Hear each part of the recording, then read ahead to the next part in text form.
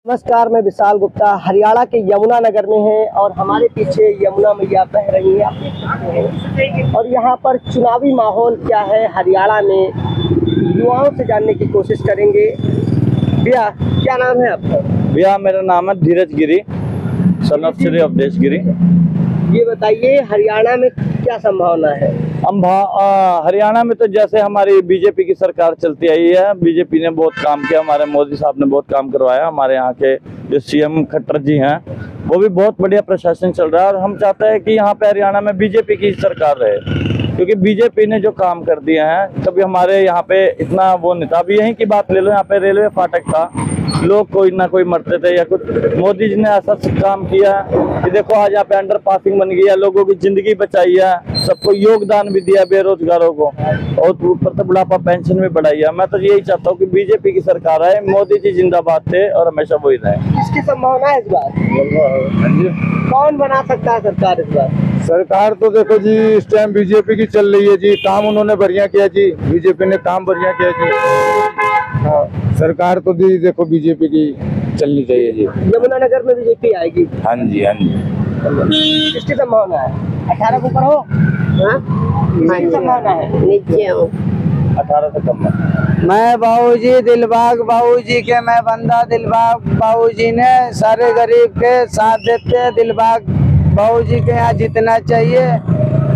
दिलबाग को हर एक तरह से लोग सपोर्ट करे। दिलबाग सिंह को एक बार और जीता है उनको।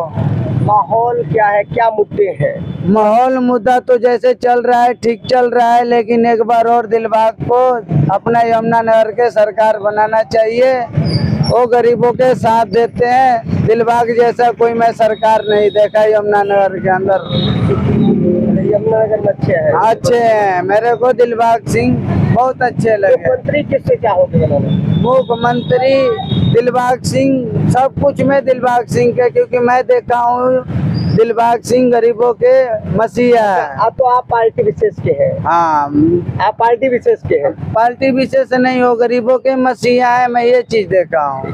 ठीक है ठीक है। ओके अच्छा अच्छा बात करेंगे एक मिनट। तो ये बताइए क्या नाम है आपका? सतीश कुमार। यमुना नगर के ही है? हाँ। हरियाणा में चुनाव का माहौल क्या है? बाबे तो माहौल तो चल ही रहा अच्छी तरह।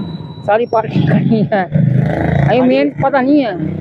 वो तो ठीक है लेकिन ज़ोर किसका लग रहा है? ज़ोर तो भाजपा का ही लग रहा है यहाँ। भाजपा का लग रहा है। हाँ। यमुना नगर भाजपा जीत लेगी। हाँ, हरियाणा में भाजपा का ज़ोर ही है। तीसरी बार।